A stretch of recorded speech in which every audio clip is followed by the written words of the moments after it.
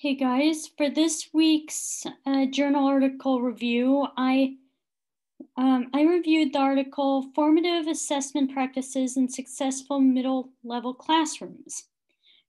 The question this article posed is how do you tell if students understand the material you're teaching them and you're testing them according to their needs? The article's answer to this was it recommended a strong emphasis on formative assessment or gauging of students' learning over time. According to experts, there are four main modes of formative assessment a teacher should use with middle school students questioning, feedback, peer assessment, and self assessment. For the most part, this article delves into the second option, feedback, the most. According to research, feedback contributes to at least 40% of the effect formative assessment has on students. This feedback can either be written in the form of gentle constructive correction or in the form of in class conversation. Now, the way this research applies specifically to middle school teaching is that in middle school, students might not feel inclined to read the feedback a, teacher might write on their homework for one reason or another. I know I was one of those students who almost never did look back at the at the corrections and how to fix things.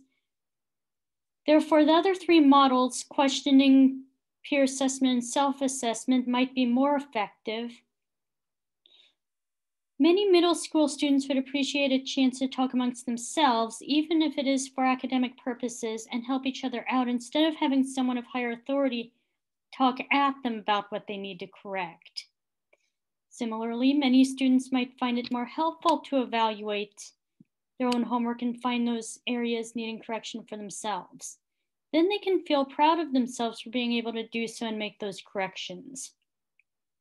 So the lingering questions I had about this article is how do I give written feedback in such a way that students will be more inclined to actually read it? Is there a way to emphasize the importance of receiving constructive feedback? Because it is a life school. It's not just acad. It is a life, um, like a life skill, not just in terms of academics, but in terms of social, social relationships and the and such. So the application is I can have my students break off into groups and go over the homework due for that day, helping each other if they have confusion before they turn it in. Also, I can go over some of those questions in class, asking students what they felt the answers were, how they got to those answers, and gently correct them if there were problems or confusion in their thinking process. Um, in my opinion, in class conversations would be more effective than written feedback because then at least you know that your students will be will will um, at least somehow um, have to pay attention. Whereas with written feedback there's a chance they that they might not actually pay attention to that.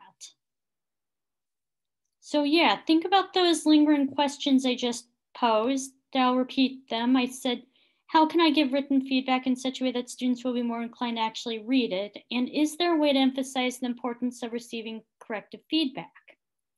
So yeah, just think about those questions and um, I'll see you tonight.